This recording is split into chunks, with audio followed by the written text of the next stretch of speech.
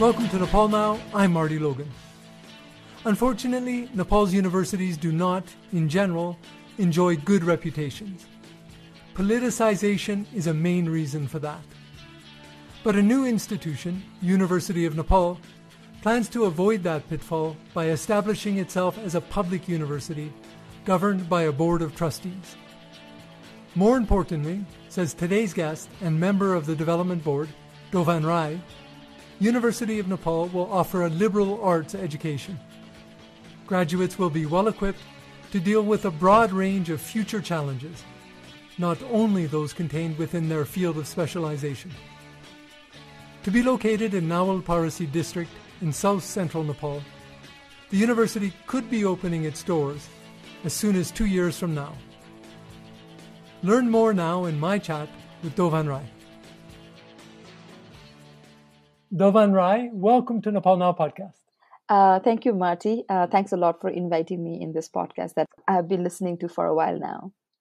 Great. I'm really glad to hear that. Firstly, I want to say that I, I do want to get an update from you about fundraising for University of Nepal and a possible opening date. But before that, um, tell me a little bit about how you got personally involved in this project before I get into how I got into this thing, let me first uh, tell a little bit why I got into this initiative. Uh, so um, I had joined uh, Pulchok Engineering Campus for my undergrad. It, it was in the early 20, uh, 2000. Um, so Nepal was going through a lot of you know political turmoil. There was civil war going on, and anti-monarchy movement and all that. Um, and the engineering college that I went to, it was supposed to be the the best engineering college in the nation. And I was really glad to have, you know, good pool of students and good faculty, but I felt that our curriculum was very limited because that did not teach us, uh, you know, I mean, what was happening in the country or the world, I could not relate it to the education I was receiving. So there was some kind of, you know, this this kind of disillusionment and some kind of cognitive dissonance going on.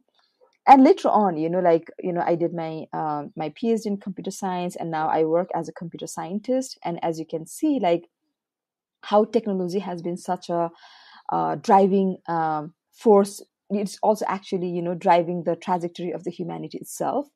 But uh, most of the technologists uh, they are not well equipped to deal with all the the complexity all the noisy realities complexity of the world. So that's why you we, we can see a lot of these problems you know a lot of confusions and uh, this crisis so uh, because of all this, you know, my experience as a student, my experience as a professional, I uh, came to this conclusion that you know this very compartmentalized uh, education is not going to give a solution for the world that we are living and that we are going to see in the future.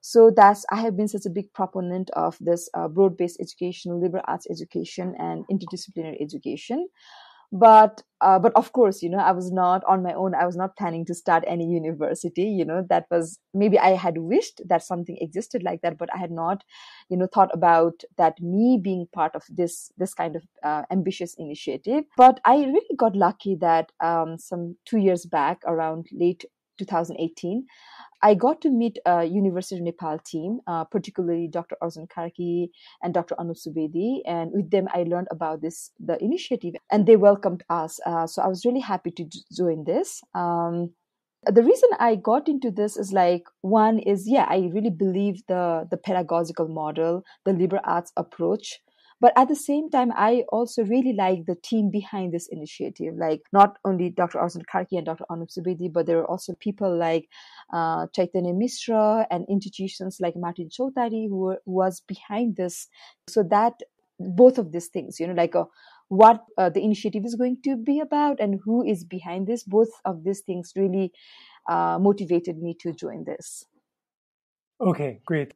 I wonder if we can probe a little deeper into the curriculum because um, I understand that it's a liberal arts institution and initially it will focus on, if I'm not mistaken, liberal arts subjects, right? Uh, let me clarify uh, a couple of things. Uh, so, yeah, the, the name can be confusing, right? When you say liberal arts, it might think that we are only going to teach, uh, you know, arts and humanities subjects, but that's not the case. Uh, the liberal arts means more like approach. It's like it means the broad-based curriculum with the interdisciplinary approach, but the students are allowed to choose a range of subjects, uh, of course, from arts and humanities, but also from social sciences, physical and biological sciences like physics and biology, um, and, and also from uh, like technology and business, you know, and other more um, focus subjects like entrepreneurship.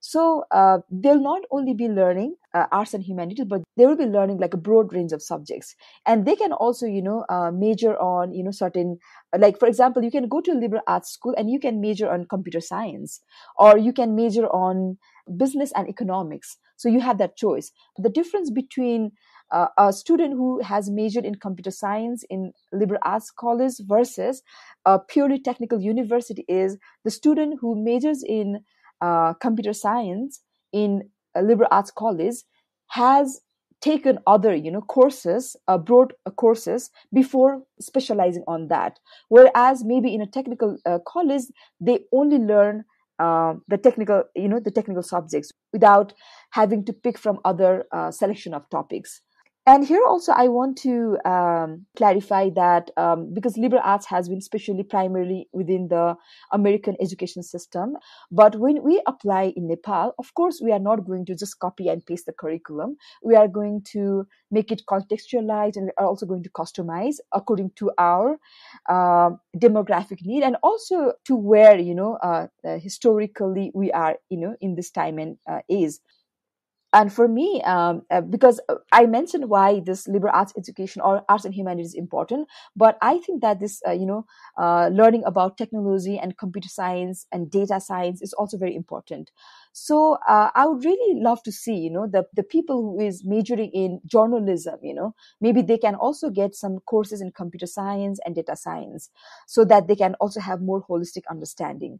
So basically the idea is to create you know more uh, this holistic um, knowledge uh, so that people have more critical mindset you know and a more holistic problem solving approach.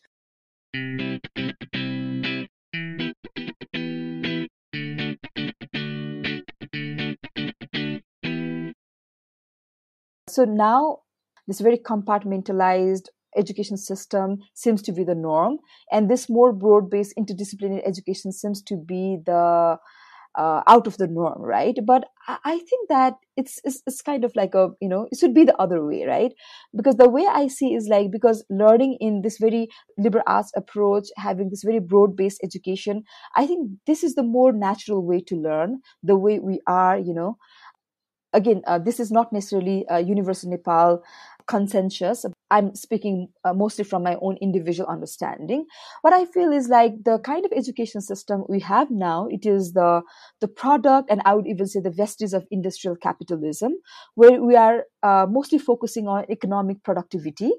Um, and and I'm not trying to deny the the value of economic productivity, right? Especially, you know, um, having born and brought up and working in Nepal, which is a developing country, there's a lot of value of economic productivity, employment, uh, you know, uh, and prosperity. But at the same time, sometimes I feel like uh, our education system as of now, with an aim of specializing it is making us stunted you know? It, it is just reducing us to our like profession you know? Okay i'm a doctor i'm an engineer you know? I'm a journalist uh, and i don't think that is a very uh, natural way of you know living learning. And also that's not also a sustainable way of contributing.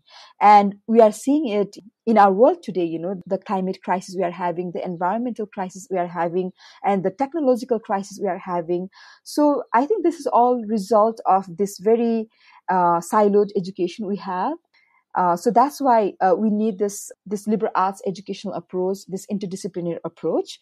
I'm not saying that hey, you know, other educational approach is not important, right? If somebody wants to start studying medicine right from their undergrad, yeah, it's good. You know, we also need a very uh, competent, specialized workforce as well. Uh, but again, as I said, there should be choice for people. You know, uh, we cannot put students in a silo as soon as they come out of you know school. Uh, and again, there is one uh, misconception about this interdisciplinary uh, education or liberal arts education is uh, somehow it looks like we are trying to create you know this jack of all and master of none people. Again that's a that's a misconception because uh, personally i find mastery very beautiful and valuable. But in the name of mastery in in the name of optimization in the name of efficiency we cannot deliver we cannot just make this very reductionist approach as the norm. I, I might be looking like i'm going round and round but my gist is that uh, we need to be more open open ended and i think we should give our students uh, different choice you know how they want to learn and how they want to grow and how they want to contribute. Our goal with university of nepal is uh, giving this uh, this quality education uh, with broad-based curriculum and interdisciplinary approach to our students so that they can not only be economically productive but also you know they can flourish as an individual. You know they can contribute to the society on promoting equity harmony uh, democracy and also uh, promoting this global citizenship. Okay great. Thank you very much uh, can you give an update on how fundraising is going and when you think the university might open. Um, I was reading in preparation for this an article in the Kathmandu Post, which is basically where the only information I, I have about the university, um, and it put out a, a, figure of 250 million rupees. I don't know if you can talk about whether or not that's accurate or not. Before I answer this question, let me give you some disclaimer that. Um, uh, the university project it has been conceptualized for more than three years now but it has been a legal entity just some months back um, that's also written in the kathmandu post uh, article um, so so what's happening is like we have a we have already done a lot of you know uh, conceptualization and brainstorming and building community around this and and uh, garnering the support and collaboration but at the same time because we, we had not been a legal entity yet so on that front you know we're lagging behind and fundraising is also one of those uh, topics that you know uh, we have not been able to really uh, uh, build this consensus. So a lot of things that I might say today, you know, um, it might not be exactly accurate, but I'll try to, you know, represent uh, the common consensus as much as possible. So, regarding fundraising, University Nepal is a public university, um, and uh, we are getting a lot of support from our government uh, from all three levels muni- municipality level, provincial level, and the federal central level. And for example, we are uh, getting the land grant from the Gaindakot municipality. So, all this support um, is a is a you know a big contribution uh, for us. But at the same time we cannot rely because this is a massive project this is a very ambitious project. We cannot rely on the government alone for all our fundraising. One is just a practical reason right? I mean um, we cannot uh, you know burden our government so much. But at the same time another is also we want to maintain our autonomy. So that's why we don't want to be 100% reliant on the government. So that's why we are looking at like a multiple sources of fundraising. So um, we want to fundraise through you know individual donations like crowdsourcing or also we want to reach out to uh, organizations. For the people who are listening to this, I also want to make an appeal that if you believe in our initiative, uh, your contribution will mean a lot for us. Um, and regarding the timeline, I don't know. I, I'm I'm thinking that because we have only just started to you know like really do the uh, do this formal and legal work uh, it might take you know maybe um, two years to really start the university because we have to get the land we have to build the institution and all those other legal issues but i would say that we might be able to you know deliver you know not other kind of service even uh, before we really start um, uh, from the infrastructure because now the online is also a medium. So uh, yeah we, we would really love to give our service as soon as possible but with all the logistical and legal issues in mind it might take two years and again, regarding the fundraising, uh, I want to mention one thing, and it might uh, also be a little personal opinion, but I'm personally a little you know cautious about the fundraising itself, especially about you know after the incident, the Jeffrey Epstein incident that came out of U.S. How uh, the big institutions like MIT and Harvard and Bill Gates, how they were all embroiled in this thing. So that's why this reputation laundering is also a big issue but uh, we also need to understand that Nepal is a developing country, you know. Uh, so there are a lot of like a practical issues. We can be purist. At the same time, how do we maintain our integrity? I think uh, this is going to apply into a lot of domains, and I think fundraising is also going to be one of the early issues. Uh, and also, one big update is in U- University Nepal uh, Development Board. Um, so there is a committee, subcommittee, who is like uh, responsible for this fundraising um, and i think we can have you know more information from them but for now i would say that we are just like starting our uh, such activities. Okay. How would you um, describe a, a public university? Concretely what does that mean? The names can be like the uh, the public private government uh, you know non-government right? It can be confusing. I'm i'm also like uh, like learning the nuances. So when we say that university nepal is a public university it is going to be governed by uh, uh, by a trust. So the profit that we make, it is not going to uh, to the shareholders or or the investors or the owners of the institution. There's not going to be you know the owners. There's only going to be trustees who is going to give this guardianship to the university.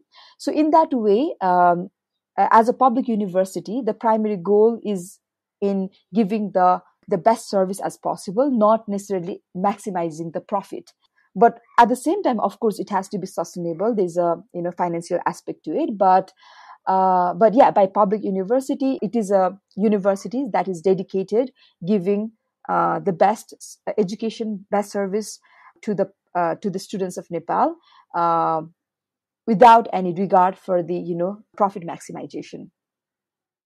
So you mentioned that the municipality is providing a grant uh, of land for the site of the university in Nawalparasi. Are there other reasons as well why you want to situate the university there instead of, you know, the obvious choice would be Kathmandu because it's the capital? The decision we made to build this university in Gaindakot municipality is like a, I would say in broadly twofold. One is based on our principles and our ethos and also practical concerns.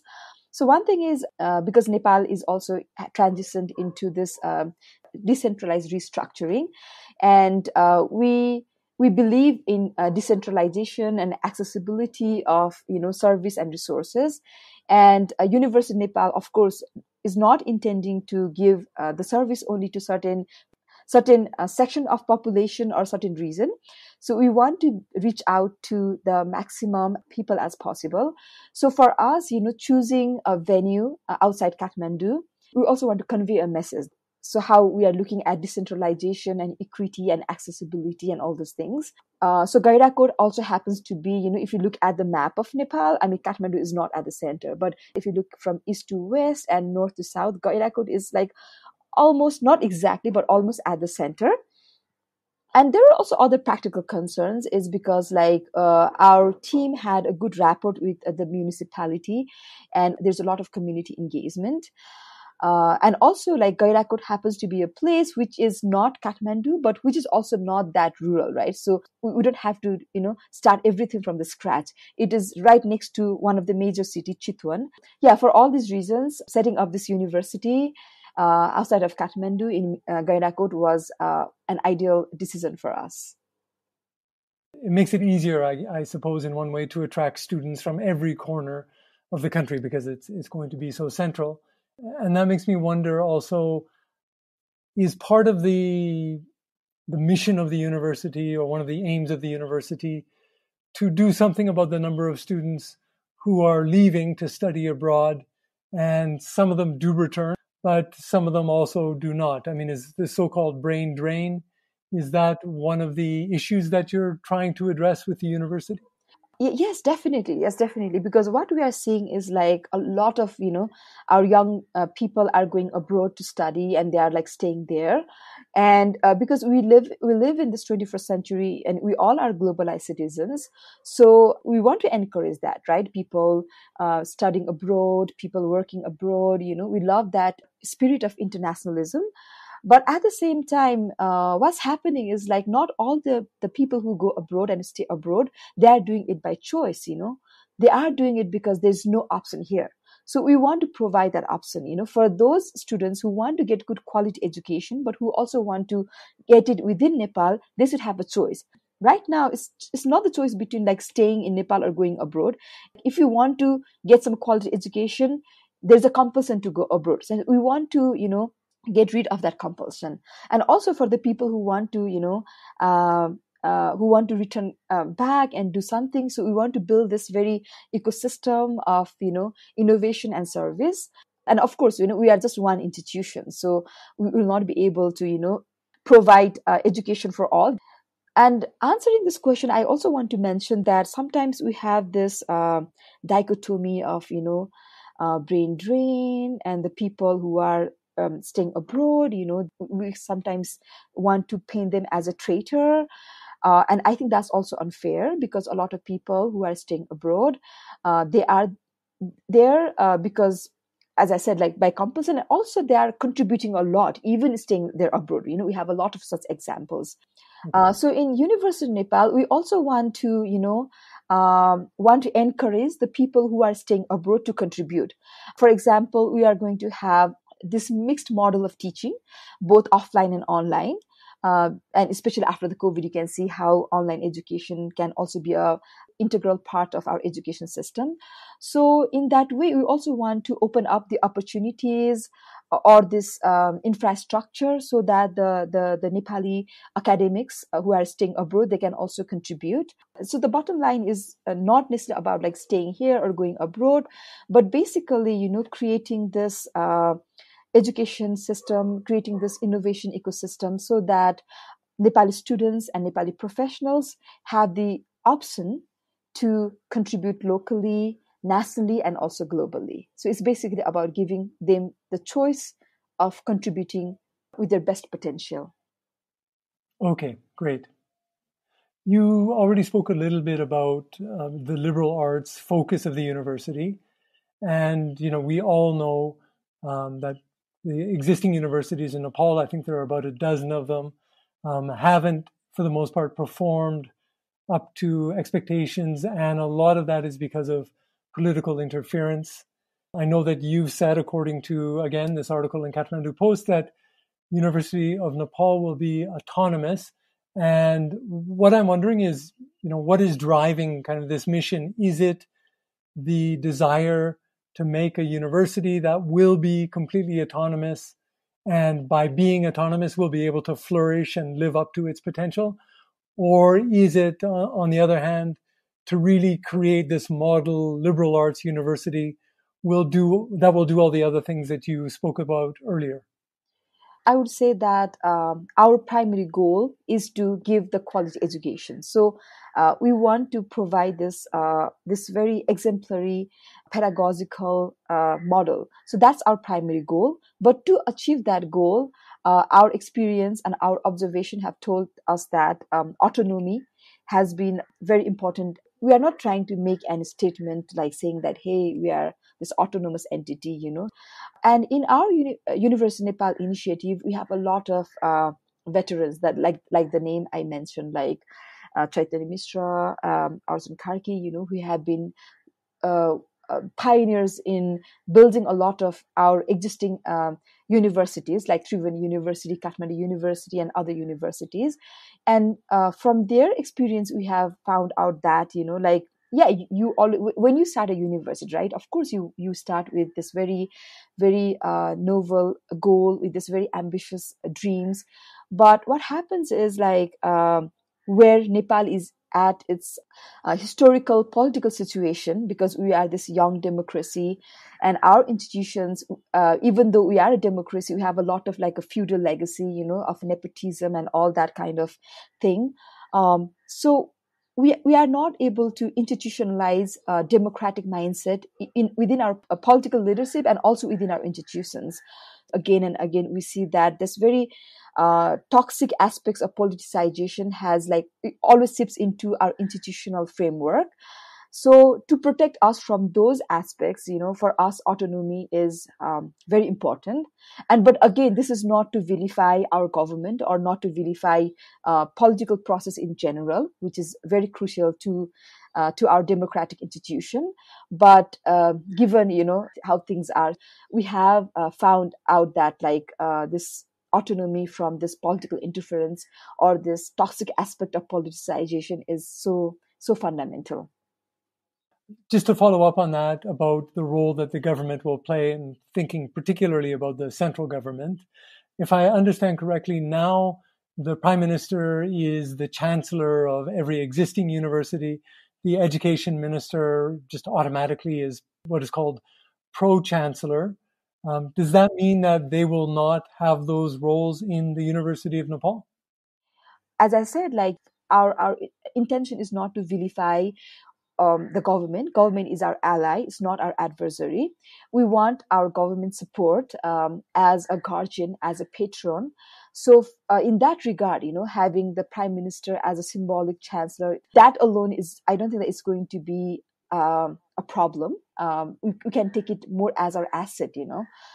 And that can also give a good uh, message to the student body or to the uh, you know to nepali community that you know we are not a private institution. We are a public institution with a patronship and guardianship from the head of our government but yeah we have to be really vigilant and we have to be really careful that that uh, guardianship role it should remain as a guardianship role, right? It should not uh, infiltrate in other forms. So for that, I'm very happy to say that um, there are other universities like Madan Bhandari University, uh, Yogmaya University, and Gandaki University, and there's a, like a common consensus among these new universities that uh, autonomy is very important, and all of those are public universities, and they all are, you know, making this very collective effort uh, to uh, getting this uh, autonomy. So uh, in that sense you know like i'm really uh, glad that we are creating this this very collaborative you know uh, consensus even among these universities in identifying how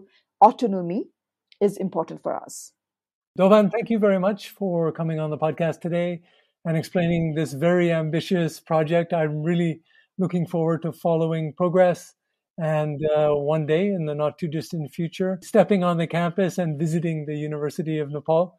So, best of luck in your project. Thank you, thank you, Marty, so much uh, for giving this opportunity. Yeah, for me, and also you know putting the word out. Thanks again to Dovan Rai for taking the time to speak with me today. You can let us know what you thought of our chat on Instagram, Facebook, Twitter, or LinkedIn. We're Nepal Now or Nepal Now Pod. You can also write to me directly at marty at martylogan, M-A-R-T-Y-L-O-G-A-N dot net. If you're not already subscribed to Nepal Now, why don't you like, follow, or favorite the show now wherever you're listening to this? And if you think more people should hear the show, help spread the word by reviewing us on Apple Podcasts. Thank you to Soraya Logan for helping with Nepal Now's social media. My name is Marty Logan. I produce this show, and I'll talk to you again soon.